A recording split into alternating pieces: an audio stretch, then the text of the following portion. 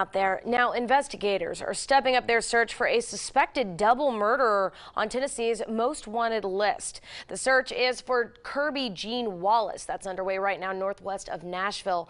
Investigators say Wallace is wanted for first degree murder and a number of other charges.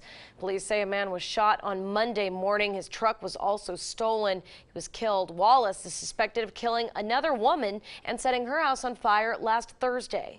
With the evidence that we've collected thus far, uh, everything that we are led to believe is that this is Wallace. Um, There has not been any positive ID. It is uh, definitely uh, a possibility it's the same one. Uh, There wouldn't be anything else that would lead me to believe that it's anyone else. Well, there's a $5,000 reward for information leading now to Wallace's arrest.